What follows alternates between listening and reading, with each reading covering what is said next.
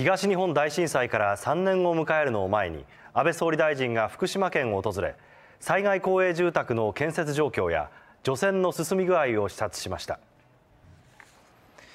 安倍総理は福島第一原発が立地する大熊町では除染の状況を視察し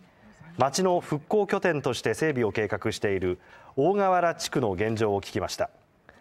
また来月1日に福島第一原発から20キロ圏内では初めて避難指示が解除される田村市宮古寺地区も訪問し住民の声に耳を傾けました、まあ、福島においてはなかなか復興が進んでいなかったわけでありますけれども復興が前に進み始めたなということを今回実感することができました。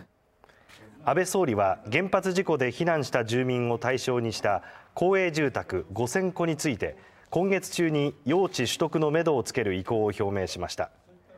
また除染で出た土などの中間貯蔵施設の設置について極めて重要だとして政府として支援していく考えを強調しました